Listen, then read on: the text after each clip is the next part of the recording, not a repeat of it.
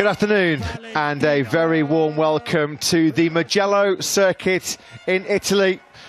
Myself, Matt Birt, Simon Crafar are here to talk you through a super Saturday afternoon of qualifying action here in Mugello. But we're on air slightly earlier uh, than scheduled for a very special reason. As you can see, these are live pictures coming to you from Mugello here, the famous circuit nestled in the heart of the Tuscany Mountains, as we get set to retire, officially retire, the legendary, the iconic the number 46, so synonymous with that man there, Valentino Rossi, the nine times world champion, of course, who ended his 26 year Grand Prix career at the end of 2021. He's joined on the grid for this very special ceremony by Dorna CEO, Mr. Carmelo Ezpeleta. On the left hand side of your picture, of course, FIM President George Viegas so many riders have come to join in this special ceremony. A man who's very much part of the VR46 Academy, part of the 2022 MotoGP World Championship battle. Pecco Bagnaia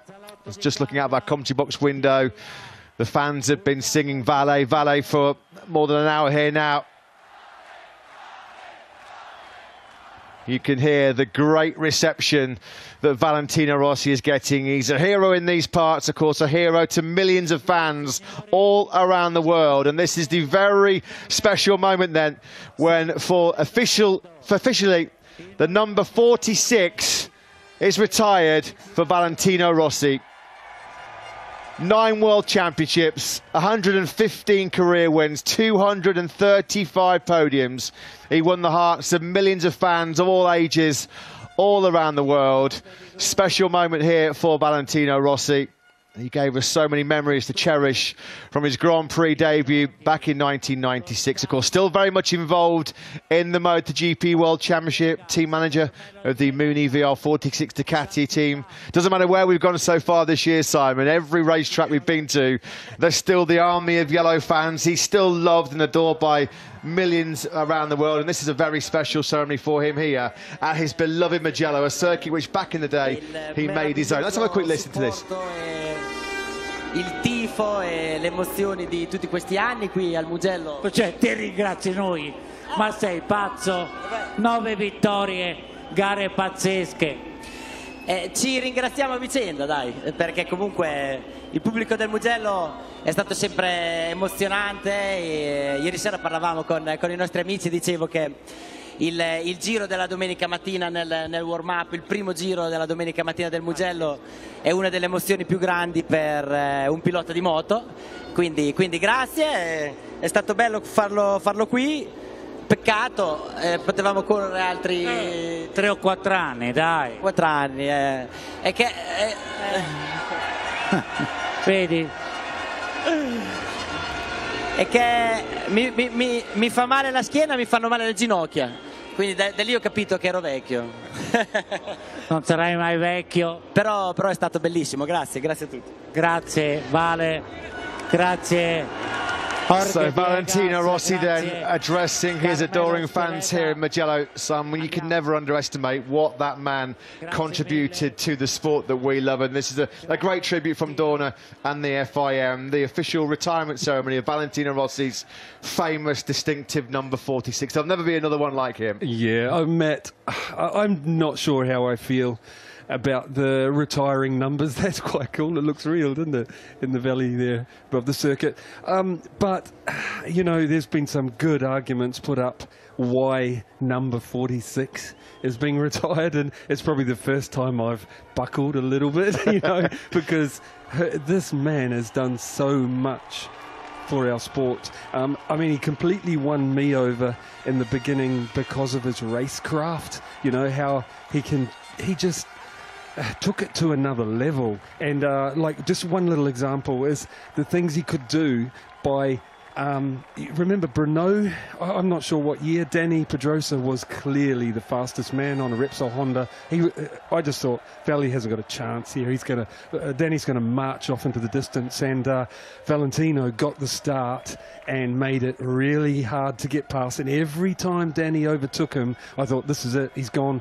But Valentino on the next corner would stuff him again, and did that to him, and broke his rhythm and beat him. And I'm like the race car racecraft was phenomenal, and he did it. The thing to me, he did it. He won world championships in one two fives, two fifty two strokes on Dunlops. Then got on a, a five hundred, like they were beasts, you know and on Michelin's, which uh, which were less forgiving, you know, less feel. And that's what they were famous for back then, you know, with the with the uh, with bikes with no traction control, no safety aids at all. And then he won, almost won, his first year on it. I, they didn't expect him to, but he almost did, you know. And then he went thousand four stroke one, eight hundred four stroke one, um, then, then the th- back to thousands. This is on Michelin, then to Bridgestone's one.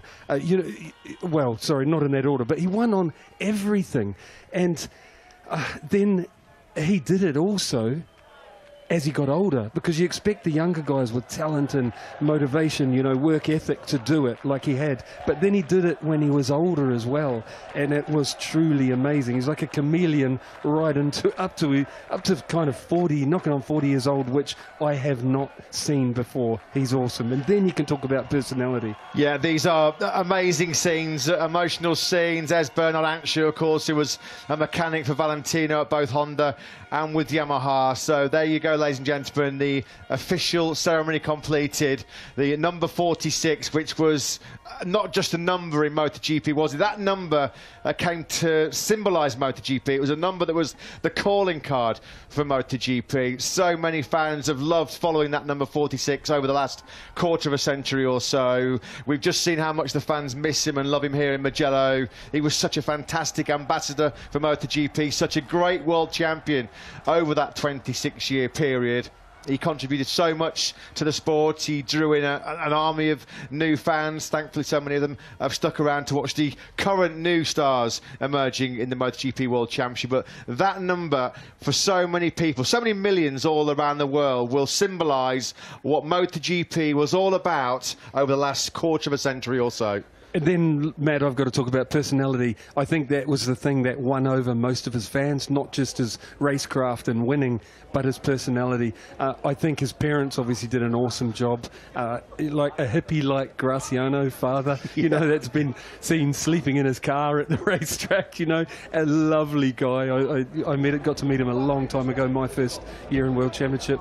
And and then um, uh, I don't know his mum, but they obviously did an awesome job, and he's intelligent, and he knows how to deal with people of all ages, and like I've said before, um, make people wherever he, he contacts people, he he's got this ability to make them feel special, and he even gets that across on the screen, which is awesome. Like, yeah, a great honour for a great rider course, we love him for everything that he gave to MotoGP since 1996. And we do miss him, but great to see he's still heavily involved in the MotoGP World Championship. Valentin, of course, we wish him success in his new career as both a father and a car racing driver, but there will never be another Valentino Rossi. We thank him for all the great memories he gave us over the years, and what a perfect way to kick off a sunny Saturday here in Mugello with the official retirement of number 46. It has been now officially retired, and that will now forever mean Valentino Rossi.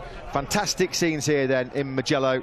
We're going to take a, short break, myself and Simon, of course. Don't go anywhere because coming up in about 60 seconds' time, one minute, we've got a thrilling and nail-biting full afternoon of qualifying action coming your way. And FIM NL Motor E World Cup race action as well. Those fans have got all of their mementos, their memories of the photos and seeing that great ceremony in person here with Valentino Rossi. But we'll be back very, very shortly for Moto 3 qualifying. Thanks for joining us in that very special ceremony here in Mugello. The number 46 officially retired for Valentino Rossi in MotoGP.